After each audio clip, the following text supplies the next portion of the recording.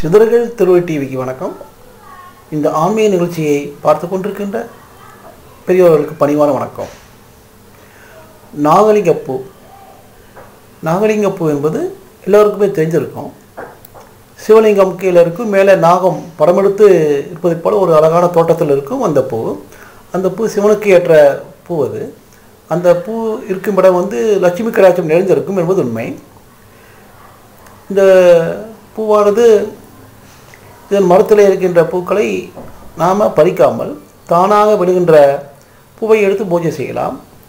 நெருவிலே அவதூத சித்தர் சதாசிவமையா அவர்களுடைய அதிஷ்டானத்திலையும் கூட அந்த மரம் இருக்குது. இந்த மரம் வந்து பொள்ளாச்சி பொறிவு வாலயத்திலே சித்தர் கோடி கோடிசாமியின் சமாதி உள்ள இடத்திற்கு அருகாமையிலே இந்த இந்த நாகலிங்க பூ மரம் இசைஞானி இளையராஜாவால் வைக்கப்பட்டது. இது நிறைய பேர்த்துக்கு தெரிய வாய்ப்பில்லை என்றாலுங்க இந்த மரத்தோட தன்மை வந்து இங்கே தியானம் செய்தால் தியானம் முழுமையாக பலனை அடையலாம். இந்த இந்த மரம் இருக்கின்ற இடங்களில் வந்து தெய்வ கடாட்சம் நிறைந்தது. சிவனுடைய அருள் அருளும் மகாலட்சுமியினுடைய அனுகிரகமும் இந்த மரத்திற்கு உண்டு. இந்த மரத்தின் பெருமை வந்து சித்தர் கோடிசாமிகளுடைய ஜீவசமாதி கரையில் இளையராஜா அவர்களால் வைக்கப்பட்ட இந்த மரம்.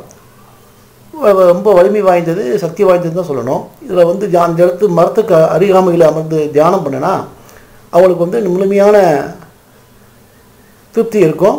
பலன் இருக்குங்கிறது உண்மைங்க.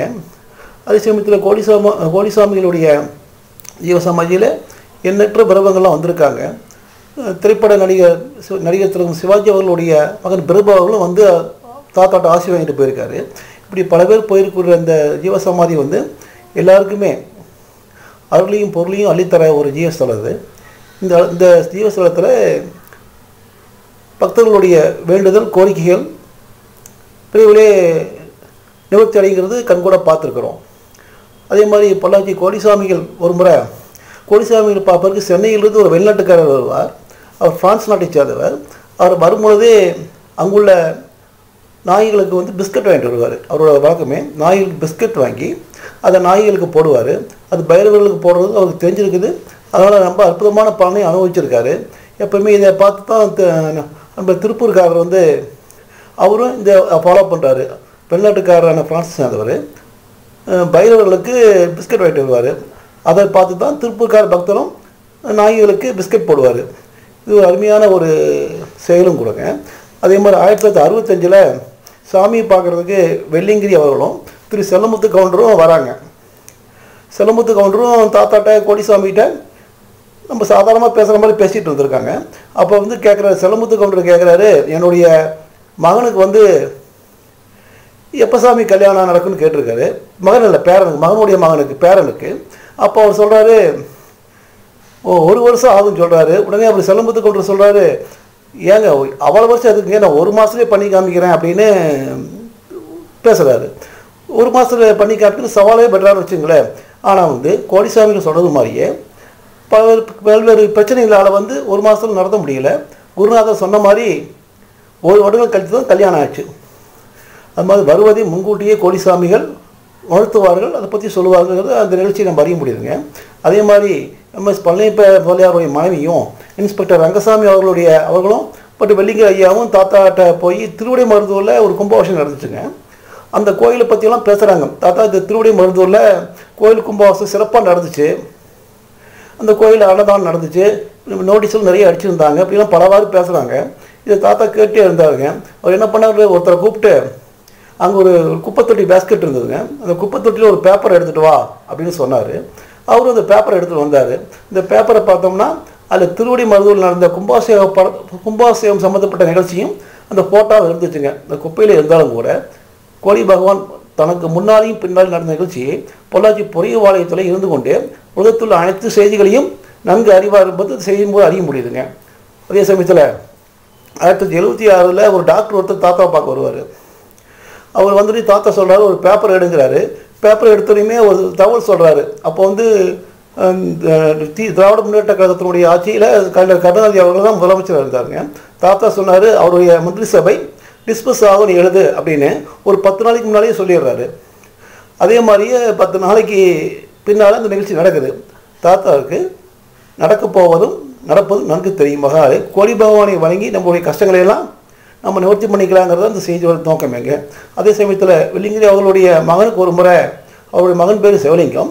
அவருக்கு வந்து சர்ப்பம் கடித்து ரொம்ப கஷ்டமான சூழ்நிலை இருக்காங்க. அப்போ தாத்தா போய் கேட்குறாங்க தாத்தா இது மாதிரி பையனுக்கு பேரனு பையனுக்கு வந்து சர்ப்பம் கடிச்சிருச்சு அப்படின்னு சொல்கிறாரு தாத்தா ரெண்டு ரூபாய்க்கு கொடுத்து ஏதாவது வாங்கிட்டு வாங்குறாரு. இவங்க வந்து ரெண்டு ரூபாய்க்கு வந்து என்ன வாங்குறாங்கன்னா விபூதியும் கல்குண்டு வாங்கிட்டு வராங்க. விபூதியை புதுசாக சொல்கிறாருங்க புதுசு சொல்லிட்டு அவங்க அமாவாசைக்கெல்லாம் வர சொல்கிறாரு தொடர்ந்து வாங்குறாரு வாழையெல்லாம் வாங்கிட்டு வர சொல்கிறாரு அதே மாதிரி அமாவாசைக்கு வந்துட்டு இருக்காரு. அந்த சமயத்தில் வந்து எந்த விதமான பாதிப்பு இல்லாமல் முழுமையாக குணடைகிறாரு அவருடைய மகன். ஆக கோடி பகவான் அவர்கள் அனைத்திற்குமே பக்தர்களுக்கு என்ன செய்ய வேண்டுமோ அதை செய்வாருங்கிறது அந்த செய்தியோட நோக்கமே இதாங்க செய்தியே தான் கோடிசாமி நம்பினா எல்லாம் நடக்கும் அப்படிங்கிறது தெளிவாக தெரியுதுங்க. நாம ஒருவேளை சாப்பிடலன்னா எவ்வளோ கஷ்டப்படுவோமோ அந்த மாதிரி எத்தனையோ ஜீவன்கள் சாப்பாடு இல்லாமல் கஷ்டப்பட்டுட்டு இருக்காங்க.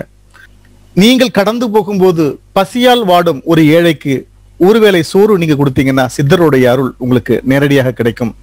உங்களால் கொடுக்க முடியலன்னா சித்தர்கள் திருவடி இருகரம் கூப்பி உங்களுக்காக சேவை செய்ய காத்திருக்கிறது.